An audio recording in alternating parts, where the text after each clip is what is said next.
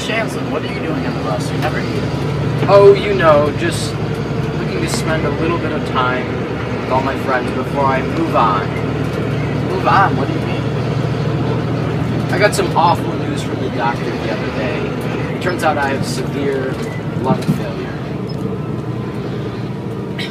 What? Do you have any last wishes?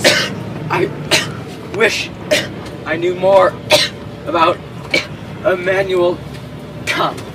That's perfect. I actually paid attention in AP Euro this year. No, you didn't. I'll show you my project.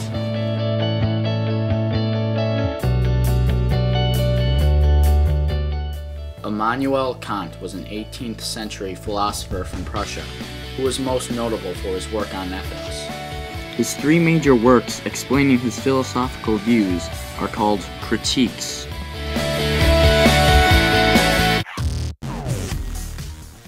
There were two general schools of thought at the time consequentialism, which believed right and wrong was based on the action's consequence, and deontology, which believed it was their duty to always obey moral rules, regardless of the outcome. Kant himself was a deontologist.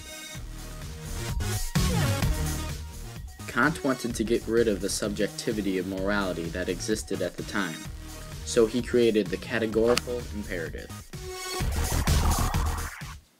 The categorical imperative was a universal code of moral law that was held to be true regardless of the situation. The categorical imperative was divided into three maxims. The first maxim was universality. This meant the action would only be acceptable if you would be okay with a world where every single person did this action.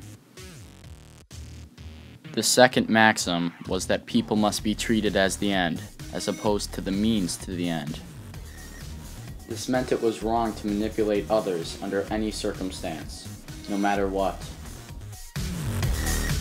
The third maxim was to act as though you were the greatest moral authority. Kant was a transcendental idealist.